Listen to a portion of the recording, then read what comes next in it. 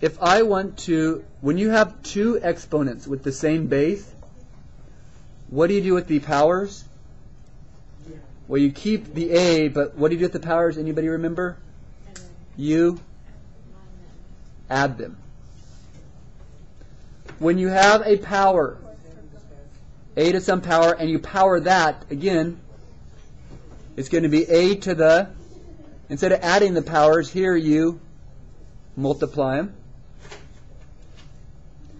When you divide,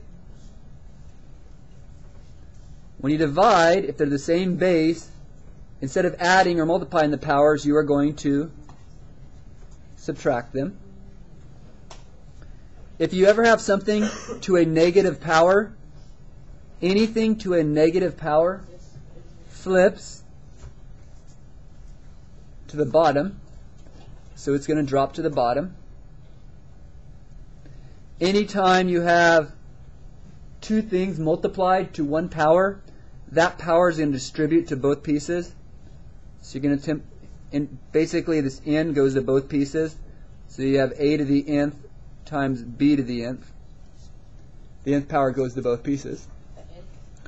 Whenever you have a fraction to the nth power, it's, very, it's identical to this one. It's identical to this one. You're just going to distribute that nth power to both pieces. So you have a to the nth over b to the nth.